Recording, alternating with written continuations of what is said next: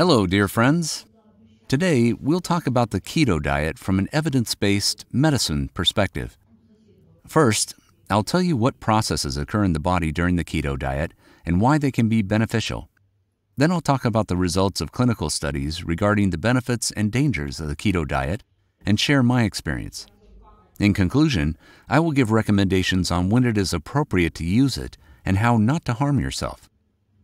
The name keto diet comes from the word ketones. Ketones are produced by the liver. They are present in the blood of an ordinary healthy person in small quantities and increase with starvation, diabetes, and lack of carbohydrates in the diet. The amount of ketones in the blood increases when the body shifts to energy supply from fat instead of carbohydrates. The keto diet has been known since the beginning of the last century. When there was no insulin, it was the only way of life for diabetic patients. It was also found that increasing the level of ketones in the blood reduced the frequency of seizures in children with epilepsy. The current attention to the keto diet is because many miraculous properties are attributed to it. These include rapid weight loss, controlling blood sugar, lowering insulin levels, reducing inflammation, slowing aging, improving brain function, fighting cancer, and many other benefits. The keto diet also appeals to athletes. When glycogen stores are limited, fat becomes an endless fuel supply when cycling or doing triathlons. On a keto diet, more than 70% of energy comes from fat, 20% from protein, and 5 to 10% from carbohydrates. On average, up to 50 grams of carbohydrates are allowed. This amount of carbohydrates is contained, for example, in 360 grams of apples.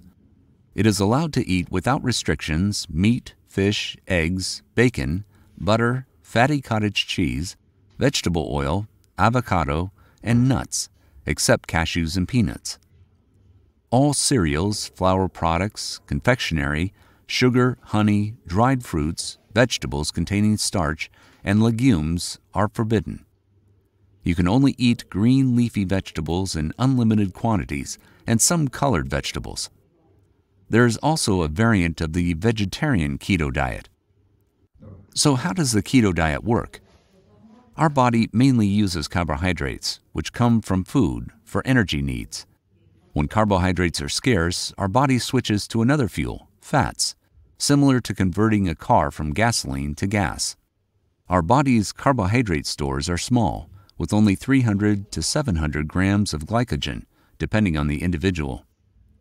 At the same time, the average healthy person has about 20 kilograms of fat distributed under the skin, in the omentum, and around the internal organs. Overweight people have even more fat. One can live on this fat reserve for weeks and sometimes months. When glycogen stores are depleted and blood glucose levels decrease, a chain of reactions is triggered that activate enzymes that break down triglycerides in fat tissue. Triglycerides are broken down into free fatty acids and glycerol. Free fatty acids are transported to the liver. Fatty acids are oxidized in liver cells.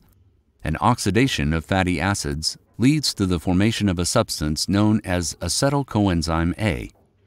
Acetyl coenzyme A enters the Krebs cycle where it is bound to oxaloacetate. The Krebs cycle produces ATP, adenosine triphosphoric acid, the cell's primary energy source. If the body receives little carbohydrate, the availability of oxaloacetate is reduced, and the products of fatty acid oxidation are directed along another path. Acetyl coenzyme A is converted into acetoacetic acid and beta oxybutyric acid, in other words, into ketones. If the average concentration of ketones in human blood is only 0.003 to 0.6 millimoles per liter, then when starving, their content can reach 16 to 20 millimoles per liter. The starving person may even smell acetone. At first, the body tissues are not adapted to the nutrition with ketones. However, with time, they successfully reorganize their metabolism and begin to break down acetoacetic acid with further involvement of its derivatives in the Krebs cycle. Thus, for example, the brain, initially fed only on glucose, develops the ability to meet its energy needs by 75% at the expense of ketones. The kidneys and heart already prefer to feed on ketones. Usually, when fasting, the body switches to ketone feeding after 72 hours. As it adapts, the acetone odor from the person disappears as well. Glucose levels on a ketogenic diet do not drop critically due to the secretion of the hormone glucagon, a hormone that is an insulin antagonist. Our body has a pathway that involves getting glucose from non carbohydrate foods. This process is called gluconeogenesis. Since the keto diet lowers insulin levels, it has positive effects regarding hunger reduction, fat reduction, and aging. On a keto diet, the body adapts to using fat as energy. It is particularly significant at the beginning of weight loss. In some people who restrict calorie intake but do not reduce carbohydrate intake sufficiently, paradoxically, muscle begins to melt instead of fat. It is because in the presence of carbohydrates, it is easier for the body to restructure itself to devour protein than fat, resulting in weight loss, but the thickness of the fat remains the same, burning muscle. If you exclude carbohydrates, the body will have to switch to fat, Another effect of the ketogenic diet is that energy is spent on the breakdown of fat. It leads to the fact that at the same caloric content of the diet, a person will lose weight faster on a ketogenic diet than on a diet high in carbohydrates. High fat intake, ketone production, and low insulin levels help to decrease appetite. As a result, people lose weight quite effortlessly it is worth noting that, generally speaking, the weight loss is not because the diet is high in fats. It's all about reducing the calorie content of the diet. Therefore, on a keto diet, you should also count the calories in the products to avoid getting the opposite effect. Proponents of the keto diet believe that high fat consumption and low carbohydrate intake improve the blood lipid spectrum by increasing the fraction of good cholesterol and high density lipoproteins. High density lipoproteins serve as a defense against plaque formation in blood vessels. Another of the trump cards of keto diet supporters is its effect on cancer cells. Glucose metabolism is impaired in cancer cells, and tumor cells actively take up and break down glucose through glycolysis. It is called the Warburg effect. At the same time, if only ketones are left in the blood, cancer cells cannot metabolize them and die. Some researchers believe ketones are good nutrition for the brain, as they help normalize mental functioning and mood, and can even improve the course of Alzheimer's disease. There is evidence that the keto diet helps reduce the intensity of inflammatory processes in the body, which is very good for age related prevention. All this is certainly good, but do we have proof that all these effects really work? And are these eating habits so safe? Some points of the keto diet are hard to dispute. It's really highly efficient in losing weight quickly and adapting the body to eating fats.